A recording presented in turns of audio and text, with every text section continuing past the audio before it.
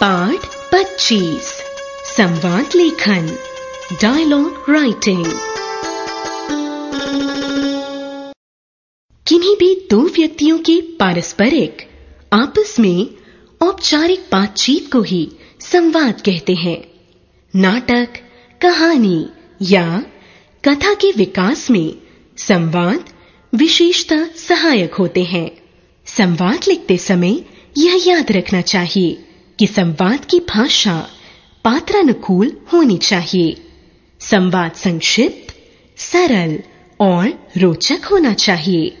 इन सब बातों के साथ एक महत्वपूर्ण तथ्य यह है कि एक बार संवाद लेखन का विषय एक ही हो, अर्थात लिखे गए सभी संवाद एक ही विषय की ओर संकेत करते हों। उदाहरणार्थ, एक समाज के सबसे ज्वलंत मुद्दे। भ्रष्टाचार पर दो पड़ोसनों में संवाद। निधि, क्या बात है सुनिधि? आजकल तुम कुछ परेशान सी दिखाई पड़ती हो। सुनिधि, क्या बताऊँ निधि?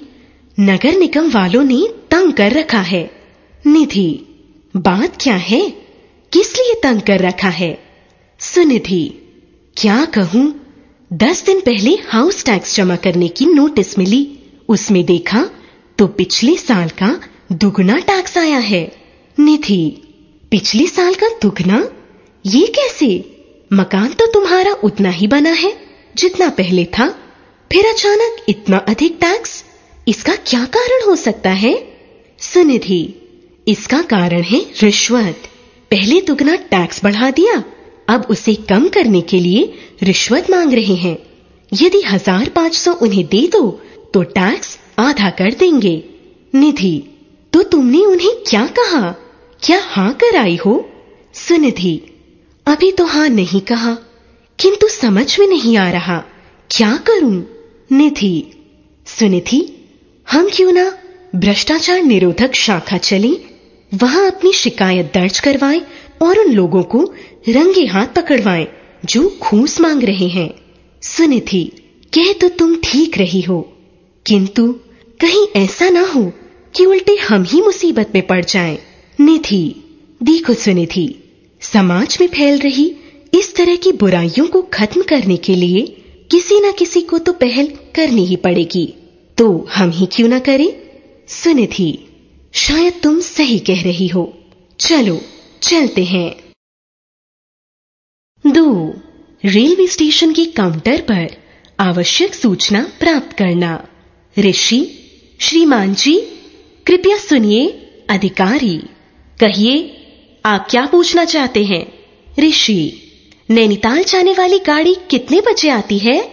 अधिकारी, आठ बजकर तीस मिनट पर। ऋषि, और यहाँ रुकती कितनी देर है? अधिकारी, सिर्फ़ दस मिनट। आठ तीस पर आती है, और ठीक आठ चालीस पर यहाँ से छूट जाती है। ऋषि क्या आज गाड़ी सही समय पर आ रही है? अधिकारी, लगता तो नहीं। आज सभी गाड़ियाँ विलंब से आ रही हैं। नैनीताल एक्सप्रेस भी शायद साढ़े दस बजे तक ही आ पाएगी। किंतु आप सही समय पर पहुँच जाइएगा।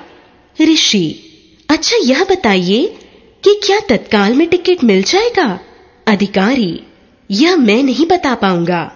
आप इसके लिए खिड़की नंबर चार पर जाइए। ऋषि जी अच्छा बहुत बहुत धन्यवाद। तीन पिता पुत्री में विषय के चुनाव को लेकर वार्तालाप। चारू, पिताजी, जब से परीक्षा परिणाम आया है, तब से मैं बहुत परेशान हूँ। पिता, पर क्यों? तुम्हारे नंबर तो बहुत अच्छे आए हैं।